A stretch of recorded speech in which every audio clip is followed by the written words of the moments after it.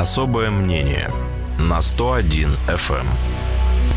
Добрый день, да, это действительно программа «Особое мнение». Веду ее сегодня я, Мария Кожевникова, а напротив меня управляющий партнер международной юридической компании «Кассин и партнеры», президент Фонда поддержки предпринимательства «Содействие» Олег Кассин. Олег, добрый день. Добрый день. Я в начале программы сразу скажу, что у нас появились новые средства связи со слушателями. Можно писать Вайбер, WhatsApp номер 8 909 720 101 и 0. Также у нас есть свой телеграм-канал. Э, и э, можно писать ВКонтакте, например, в комментариях к посту, где мы анонсировали наш разговор. Олег, хотела начать с тем федеральных, но начну просто с человеческого. Сегодня появилась э, новость, буквально вот пару часов, о том, что следователи завели дело на спасателя, который не стал спасать тонущего ребенка в Кирово-Чепецке. В итоге 13-летний мальчик погиб. Э, выяснилось во время следствия, что э, спасатели этого предупредили люди, которые были на берегу, они сказали, что тонет ребенок, нужна помощь, а он якобы вообще ничего не предпринял. Я хочу просто вот спросить, это о чем говорит? Это состояние какое-то общества или это частный случай? Не надо тут судить никого пока. Я думаю, что в любом а, случае, я надеюсь на это очень, что это все-таки частный случай. Просто уголовное И... дело, наверное, ведь оно просто так не заводится. В наше время бывает по-всякому. И давайте дождемся тогда, когда э, до конца расследуются э, вот эти все обстоятельства совершенного преступления, если там есть преступление, и уже будем тогда делать свои выводы, потому что мне не совсем понятно. Вообще-то в природе человека, особенно мужчины, э, есть ну, на уровне инстинктов, если там э, ребенок плачет, если ему плохо, ну уже какие-то предпринимать э, меры. Ну, я не знаю обстоятельств дела, мне судить трудно, а выводы все-таки призываю всех сделать после того, как станет известны обстоятельства уже вот этого происшествия. Судить о каких-то там общественных проблемах и состоянии общественном тут Точно нет. нет. Да? да, никакой, э, я уверен, что никакой тут, э, скажем так, грехопадения общества и там а, моральной пропасти нет. Потому скорее, что скорее это стечение обстоятельств. Немало новостей мы читаем mm. о том, что и дети даже спасают да, других детей. детей да. Есть герои, и этого человека специально, а, по всей видимости, учили спасать людей. Поэтому он должен был быть готов. А что там произошло, мы, к сожалению, с вами не знаем и, и не предполагаем. Теперь к федеральной повестке подходим. Э, хочу обсудить с вами два законопроекта, которые приняла Госдума. Первый из них так, так называемая выборная продленка. Э, Госдума приняла законопроект, законопроект о голосовании, которое может длиться теперь три дня – то есть, если раньше мы голосовали один день, то теперь э, это можно растянуть на три дня. В зависимости там, от ситуации решение принимается отдельно по каждому случаю. Э, я хочу просто спросить о том, как вам такое решение и каким последствиям это может привести. Многие высказывают мнение, что э, с фальсификацией, там, сфальсифицировать выборы будет намного проще, потому что уследить за ними сложнее. Ну, я хочу всех э, россиян поздравить э, с тем, что выборы в стране больше проводиться не будут. Называть это выборами я бы не стал. И все более или менее здравомыслящие люди с этим согласны. То есть э, институт выборов в Российской Федерации сейчас уже не существует. Ну, давайте скажем, а, и еще следующую, но более приятную вещь о том, что, а, видимо, а, у нас сейчас появились люди, которые готовы трое суток подряд да, не спать, не есть и наблюдать э, за этим голосованием. Ну, таких нет, это сарказм. Поэтому сказать о том, что вот выборы как-то усовершенствованы, нет это какой-то другой механизм учета общественного мнения, но это точно не выборы. В данном смысле э, логично то, что выборов больше не будет в ближайшее время. А Просто... как их можно, как, как это можно назвать теперь? А теперь это, ну, называйте это социологическим опросом, дорогим социологическим опросом, очень дорогим социологическим опросом, как хотите называйте, попытка удержаться у власти, в том числе федеральной, откат в сторону авторитаризма и игнорирование полностью и целиком демократических процедур. Ну, названий на самом деле может быть много, и кому что нравится, пусть так и называют, но это точно не выборы. И вот данное решение, оно в принципе в логике власти. Потренировались на поправках в Конституцию, голосование, как мы все видели, и прям, пожалуйста, приходит к тебе на дом, ответственные и не очень, может быть, мы же не знаем, за ними же никто не следил, граждане э, с неким чемоданчиком, куда предлагалось э, опустить там листочек со своим мнением. Как потом это все учитывалось, мы не знаем. Потренировались, а сейчас этот будет механизм э, внедряться уже повсеместно и, как правило, как уже самостоятельный э, институт сохранения власти. Эта идея ведь она уже была, и она, по-моему, даже в первом чтении была рассмотрена в каком-то далеком 12 или каком-то году. А теперь она вот появилась вновь и была доведена до конца. Да? Но почему именно сейчас? Нужно говорить, что здесь коронавирус как-то повлиял, вот то, что мы потренировались, как вы говорите, или нет? Или просто время пришло, и так все удачненько сложилось? Ну, коронавирус, конечно же, ускорил процедуру принятия этого законопроекта в любом случае как хороший повод для того, чтобы его вести. А на самом деле э, власть уже знает, что она не поддерживаема народом так широко, как раньше, и поэтому как-то нужно сохранять вот э, свое, свои властные полномочия, и в связи с этим уже теперь стало понятно, что столько не нафальсифицируешь, столько не навбрасываешь, и поэтому давайте это растянем на какой-то, скажем так, период там, хотя бы в три дня. То есть все это эм, происходит на фоне и вокруг того, что россияне больше не верят власти, ни федеральной, ни какой-либо еще. Отсутствует доверие. Поэтому как-то из этой ситуации, дабы сохранить э, власть, нужно выходить. А вот из этих слов можно сделать вывод, что э, во время голосования по поправкам в э, Конституции угу. здорово удалось нафальсифицировать? Я уверен, что в достаточной мере, в которой и нужно было, все сделали. Ну, и явка там была, ну, процентов, может, 30, и из них еще половина, ну, как бы проголосовала за, вот и вам и результат получился. Ну, то есть мы явно видим, что э, народ, э, жители Российской Федерации, граждане Российской Федерации четко понимают, что их обманывают, вводят в заблуждение. И для того, чтобы еще чуть-чуть продлить срок пребывания у власти, да, вот принимаются такие стандартные, в общем-то, ходы. Времени мало, а вопросов у нас много. К следующему перейдем. Еще один законопроект, э, разрешающий гражданам с непогашенными долгами от 50 до 500 тысяч рублей становиться банкротами во внесудебном порядке. Раньше через суд, и нужно было за это платить э, законодатели считали, что многие просто не могут себе это позволить и заплатить вот э, за это все. Э, и закон как бы не действует, да. Э, теперь приняли вот такую вот штуку. Как считаете, хорошую вещь приняли, или опять что-то тут не будет работать, опять что-то формальное. И вообще вот это вот история с банкротством физических лиц это хорошо или не очень?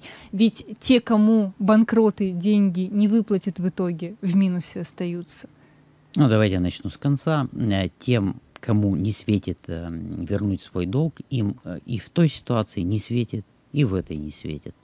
Значит, давно ведь уже ведутся эти разговоры о том, что в принципе части населения можно было бы и вовсе простить эти долги, да, в а, связи с некой там, непродуманной политикой, в том числе и Центрального банка, по поводу выдачи потребительских кредитов, по поводу разрешения грабительских процентов. Каких-то микро... микрозаймов. Да, вот микрозаймов. Эти, да. Ведь совсем только недавно, я вам хочу э, напомнить, их как-то стали хоть как-то ограничивать, эти, этот размер займов. А до этого ведь э, дикое поле было Сколько накрутим, столько накрутим.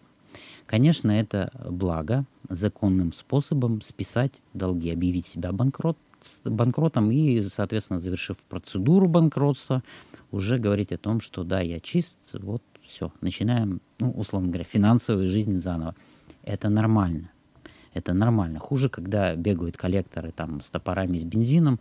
Ну, вы понимаете, это же просто криминал чистый.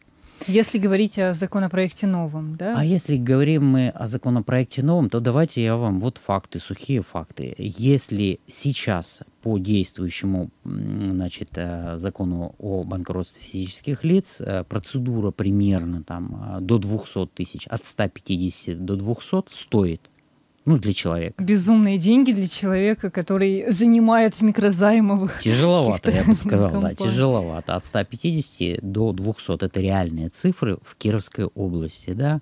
То сейчас это будет где-то до 100 тысяч рублей обходиться э, ну, гражданину. То есть ну, бесплатно-то это не будет, хотя К сожалению, что... я уверен в том, что бесплатно это точно не будет. Я понимаю, что можно написать заявление в МФЦ, и МФЦ перешлет его там, в арбитражный суд, но тем не менее бесплатно этой процедурой не получится воспользоваться. По одной простой причине, что все-таки там столько формальностей.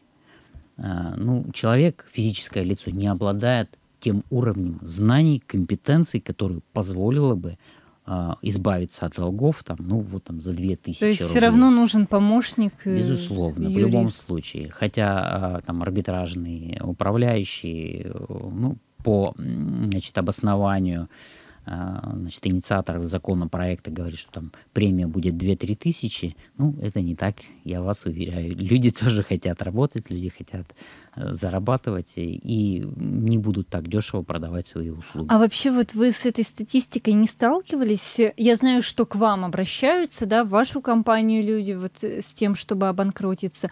А вот какую-то общую статистику вы не представляете по Кирову, по области, насколько вот сейчас э, велико число число таких людей? Может быть, как-то изменилось оно вот в эпоху коронавируса? Э, что будет дальше, может быть, на ваш взгляд, вот с принятием такого закона? А, число обратившихся и к нам, и я уверен, что и в других регионах точно такая же история, оно постоянно растет. А цифр конкретных не знаете? Нет, я не знаю, к сожалению, такой статистики, ну, просто нет. Кто-то находится уже в арбитражном суде, кто-то еще на этапе, скажем так, подготовки документов, но цифры точно растут.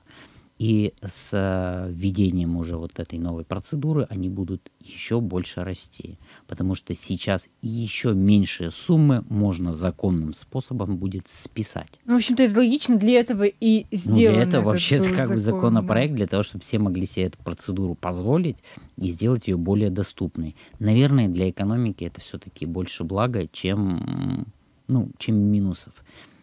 Хотя, конечно, в некотором смысле это порождает ну, иждивенческие настроения.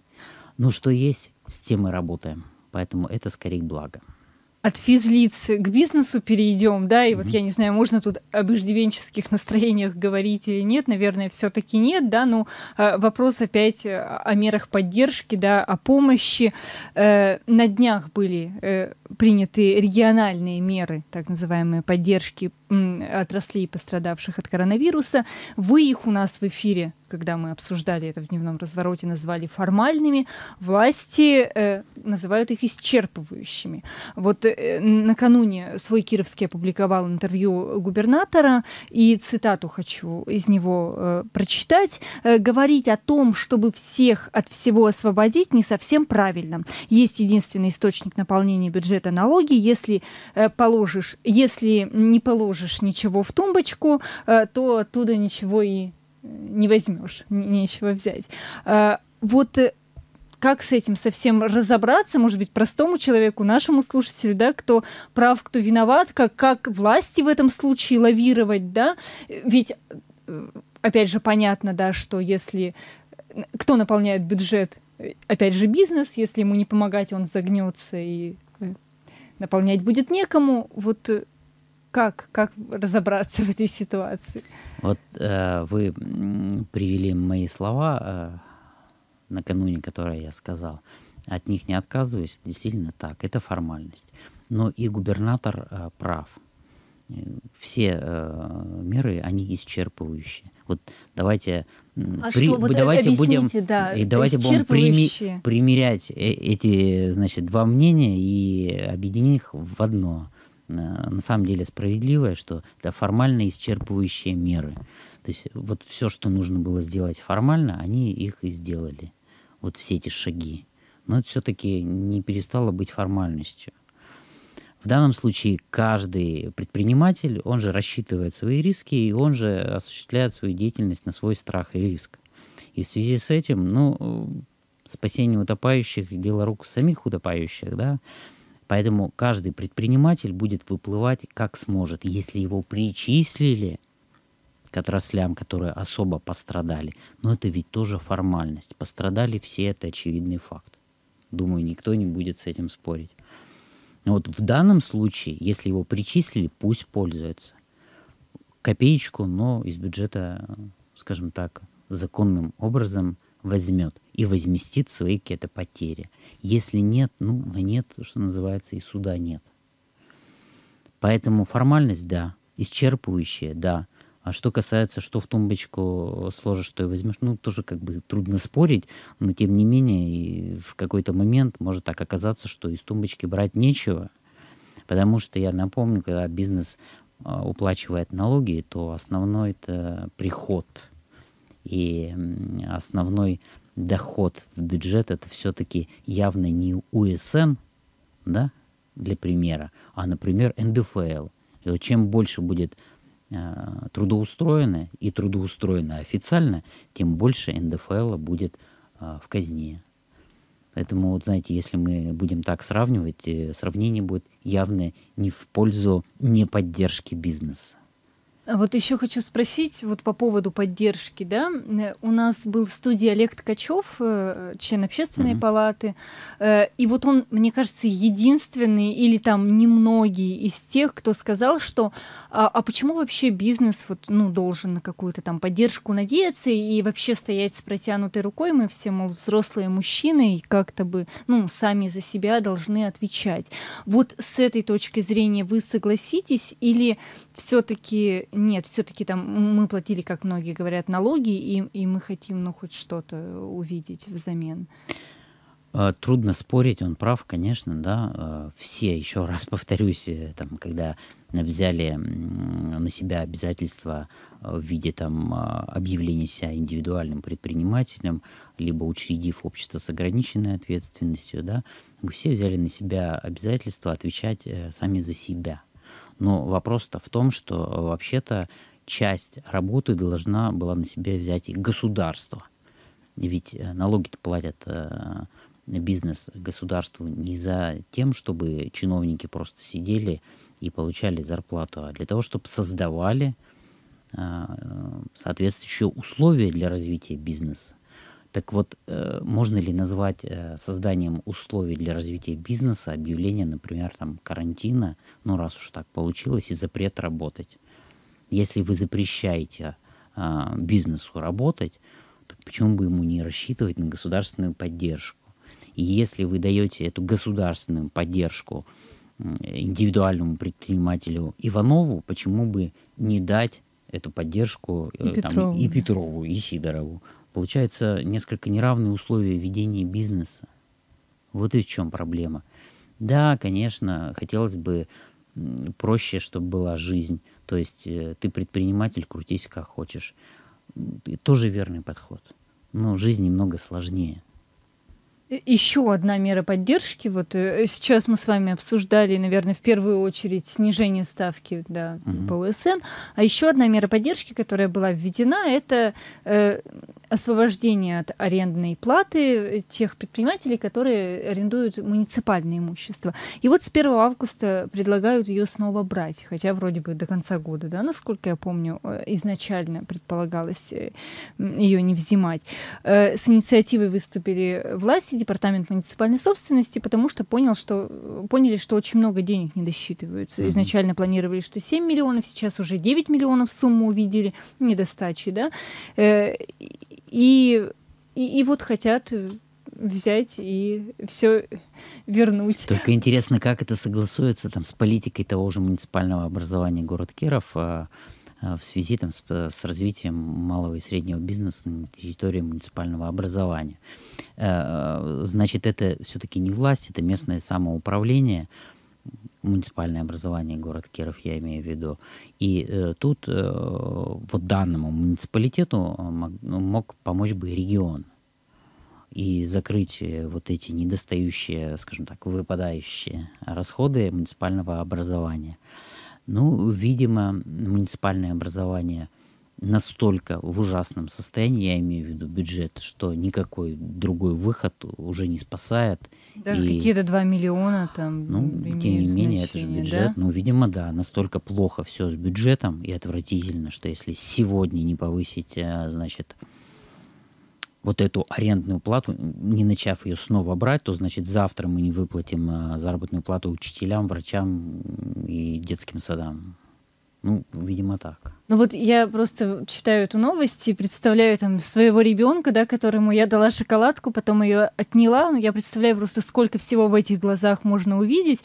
Что вот в глазах бизнеса можно в такой ситуации увидеть? Ну, слушайте, э, бизнес это, конечно, не ребенок, и я не думаю, что можно сравнивать. Ну что ж, он будет крепчать он будет искать дополнительные возможности тоже закрыть свои э, дыры в бюджете. И дай бог, чтобы это было не за счет налогов.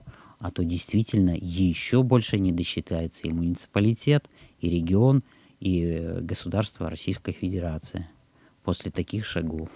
Вот смотрите, принимает решение э, муниципальное образование, а страдает вся Россия. Выходит так. Еще у нас э, до рекламы три минутки. Я хочу еще одну тему успеть обсудить. Эм, Андрей Несветаев, э, руководитель группы компаний, э, он тоже управляющий партнер mm-hmm. группы компаний э, культуры гостеприимства, в соцсетях своих рассказал о том, что у фабрики появились новые собственники. Вот. Он говорит, не буду распространяться кто, не скажу, за какую смешную сумму мы продали, но здорово, что фабрика откроется вновь. Вот хочу в, э, в этом свете вас спросить о том, может быть, действительно сейчас какое-то удачное время для развития и для того, чтобы, например, скупать бизнес или опять частные случаи? Ну, для того, чтобы в городе Кирове и в Кировской области скупать какие-то бизнесы, я не знаю, тут нужно быть большим оптимистом. Ну, Есть думаю, для что... этого вообще удачное время, да, или о, о Вообще никогда не было удачного времени в Кировской области скупать бизнес, да, это точно. Тем более сейчас, в период, когда не сегодня, не завтра, там вторая волна опять все закроют, Думаете, возможно, будет? Возможно, я не знаю, предполагать. Ну, цифры-то растут по заболеваемости, ситуация-то ухудшается. И на этом фоне приобретать, значит, э, фабрику, да, это же место, где проводятся массовые мероприятия. Я не знаю, кто это, зачем это. Ну, я вот подробностей не знаю. Ну, для меня это вообще странно. Если бы мне приплатили, я бы все равно отказался.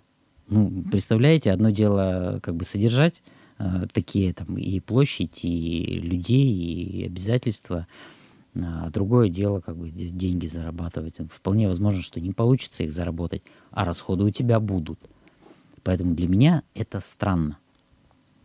Опять же, повторюсь, не знаю как бы истинных причин, кто, что, как, но для меня покупка именно фабрики, именно сейчас, это какой-то прям нонсенс. А если Ли, говорить... Либо господин Несветаев э, обладает таким даром убеждения, что продаст кому угодно, что угодно. А если говорить о, о другом каком-то бизнесе, как вот сейчас вообще? Вот... Да это все индивидуально, надо, конечно же, смотреть что продают, как продают. Бизнес понятие растяжимое.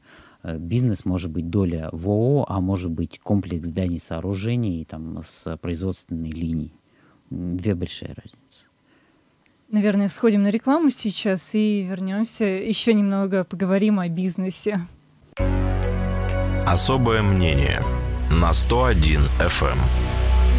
Продолжается программа «Особое мнение». Сегодня веду ее я, Мария Кожевникова, а напротив меня управляющий партнер международной юридической компании «Кассин» и партнер и президент Фонда поддержки предпринимательства содействия Олег Кассин. Э, еще раз напомню, что у нас есть номер телефона 8 909 720 101 и 0. Можно писать в Вайбере, в WhatsApp. Телеграм-канал у нас тоже есть, и там тоже можно писать, задавать вопросы. У нас еще целых 13 минут мы успеем обсудить, если вы напишете. А, а сейчас вопрос от меня, потому что от слушателей пока нет. Э, бухгалтер Татьяна Максимчук написала в соцсети, что э, начну немножко не с этого, это уже ее комментарий, начну с того, что налоговая начала рассылать письма предпринимателям, кстати, тоже это письмо где-то видела, не, не помню у кого и где, э, налоговая спрашивает, бизнес, почему вы стали меньше отчислять налогов э, по заработной плате, от, от заработной платы. Э, и вот Максимчук комментирует, все считают, что раз у нас такая ситуация в стране, то налоговая должна быть лояльной и терпимой, а Горчуну нет. И вот рассказывает про эту рассылку. Э, хочу вас спросить, вот э, ситуация-то здесь э, в чем? Э, здесь нужно налоговую винить за поведение, что она нелояльна и нетерпима, или действительно предприниматели начали уходить куда-то в тень, чтобы не выплачивать там какие-то, может быть, э, лишние деньги, сокращать ставки, еще что-то делать, уходить там на часть белой, часть черной зарплаты, вот ну, все же очень Или правда просто. нечем платить, ну, не, нечем платить все людям? на самом деле очень просто. Я сейчас объясню, почему так происходит. Дело в том, что в период как раз э, того периода, когда мы все сидели на карантине, да, многие работники написали заявление, а, значит, э, без содержания отпуск попросили и вышли в отпуск без содержания за этот период им не было начислены заработной платы, и, соответственно, у работодателя, да, не возникало обязанности уплачивать за них э, НДФЛ. Э, да. Это же естественно, что значит, платежи в бюджетную систему снизились, а у налоговой, э, значит, есть, у Федеральной налоговой службы есть обязанность поинтересоваться – заинтересоваться, почему э, вы платили вот такую сумму и вдруг резко стали платить вот такую То в сторону вот уменьшения. Только По... с отпуском без содержания вы бы стали связывать? Я бы только так стал связывать. Не с тем, что люди, например, стали увольняться, чтобы получать от государства какие-то у деньги? Или... У всех точно разная ситуация. Ну вот я Но вам на примере, часть... на примере скажу так. Те люди, которые, ну тот бизнес, который продолжает работать, скорее всего, произошло именно так, как я сказал. Есть бизнес, там, а, который действительно уже не выжил, и он действительно распустил своих работников, то есть они написали там по собственному, либо их сократили каким-то образом. А вот эта ну, информация тоже... о том, что без содержания люди писали, mm-hmm. она откуда и как вообще людей заставить это сделать? В смысле заставить? Люди написали сами, заставлять никого не надо. А, все люди, э, ну, большая э, часть этих э, людей, да, которые работают в малом и среднем бизнесе, если мы говорим о них, а если эта информация от значит, госпожи Максимчук, то, скорее всего, это так. Вот. Соответственно, они все адекватные и реально оценивают там, свои силы и понимают, что лучше сейчас написать без содержания, чем потерять завтра работу ну, лирическое отступление. Вот, соответственно, и налоговая ты заинтересовалась. Почему же мало так отчисляете? Поэтому это нормальная, естественная ситуация. Как ее воспринял бизнес? Да бизнес сейчас вообще всего боится на самом-то деле. И правильно делает.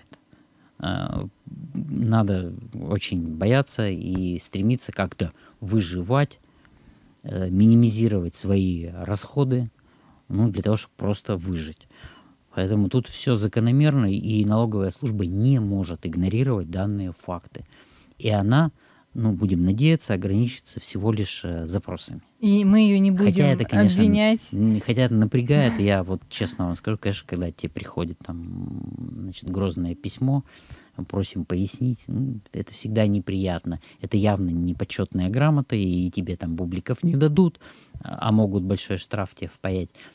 Ну, вот правила игры такие. Других не будет. Э, хочу к городским каким-то вещам перейти. Mm-hmm. Несколько интересных новостей появилось за последние дни.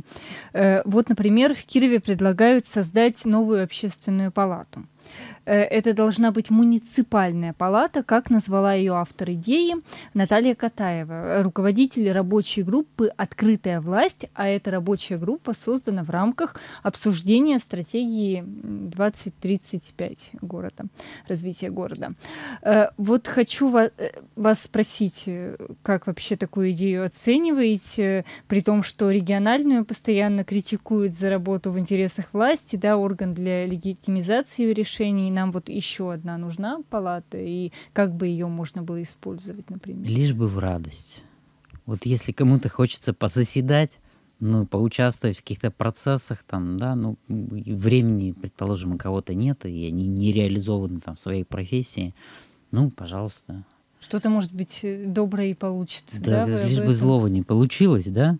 Ну, я думаю, что любая активность — это хорошо, лишь бы в подъездах не бухали да, ну, если нет возможности заниматься там спортом, слишком дорого, ну, давайте сделаем, я не знаю, еще одну муниципальную общественную а палату. А вот одной-то не хватает нам? Да мне-то и это и много на самом-то деле, да. Вот. А что касается, значит, предложений по муниципальному... Так Наталья Алексеевна, по-моему, сама муниципальный служащий. Вот не, не могу, вот да, я тоже не могу сказать. Не, помню. Поэтому ну, это хорошо, когда есть активность, э, это хорошо, когда активные граждане что-то там, значит, э, но формат, опять же, как это будет проводиться, мы не знаем. И если это будет сделано самостоятельно, и это будет самостоятельный орган, это будет в любом случае хорошо. Если это будет при ком-то, на чьи-то деньги. Ну, муниципальная-то ведь она не просто так, наверное, ну, будет да, называться. Ну, вот, наверное, так. То это плохо. То есть, опять же, появится зависимость от помещений, от финансирования аппарата, и результат будет точно такой же, как и у региональной общественной палаты. А у региональной какой? Формальный. Она есть, ее создали. Я вам напомню, еще в далеком там, 2008 или 2009 году, когда мы обсуждали все да, создание общественной палаты э, Кировской области, мы все в один голос были за, и замечательные идеи это называли, да, и вот э, а к чему это все привело? К формализму. А, поэтому намерение замечательное, хорошее, а, как и любая активность, низовая гражданская активность, да, это все прекрасно. Главное, чтобы был толк. А это будет зависеть от а, реализации этой идеи. И она должна быть точно реализована, чтобы в ней был толк какой-то. Не на деньги муниципалитета, либо региона. Она должна быть самостоятельной. Если туда заходит либо муниципалитет, либо какой-то еще другой там мощный инструмент э, из власти, то, ну, к сожалению, как практика уже показала, это будет э, всего лишь формальность. А вот э, когда ты там ни от кого не зависишь, да, не можно, не, не, нельзя докатиться до формальности тоже. Докатиться всегда можно, но шансов гораздо меньше. Я вот про это сейчас. Вот давайте возьмем Например, э, у нас, э, кстати говоря, есть вот такой э, институт, уполномоченный по защите прав предпринимателей, да, а, вот возьмем, например, деятельность нынешнего уполномоченного по защите прав предпринимателей, да, ведь, ну, я уверен на 100%, хотя это, конечно, мое мнение, но я уверен там на, на 100 нельзя быть, на 99, что очень много зависит от тех людей, которые выплачивают зарплату, а это так э, регион все-таки, да. Э, как платят, так и работает. Да, кто платит, в пользу того и работает. Э, в этом отношении, вот посмотрите, кстати, сегодня день рождения, и мы поздравляем с, с днем рождения Андрея Николаевича Вавилова, Который прежнего бизнес-омбудсмена. Да. Его риторика, ну, сильно изменилась когда он был государственным служащим, так скажем, и сейчас – ну, сейчас он, скажем так, э, э, представляет опору России и э, выражает мнение опоры России. А тогда он был полномоченным государственным служащим. Он говорил по-другому. Несколько. Хотя замечательный, достойный человек и и, и там, и там был на своем месте. Ну, раз уж вы его своем. поздравляете, наверное. Так что с днем рождения, Андрей Николаевич. Да, с днем рождения. Э, к другой теме перейду, потому что все смотрю на часы, времени мало. Э, коротко, вот у меня еще два вопроса, давайте попробуем коротко. В Кирове разрабатывают генплан до 2020 года. Сегодня в СМИ появился классный заголовок. 20 В Кирове 2040-го, mm. простите, хорошо, что вы меня вовремя поправили. На 20 лет разрабатывается этот генплан, э, как и прошлый, да, был. Э, заголовок «В Кирове построят третий мост и пустят по нему троллейбус». Вот э, раньше, по-моему, даже до Слободского эти троллейбусы хотели пускать.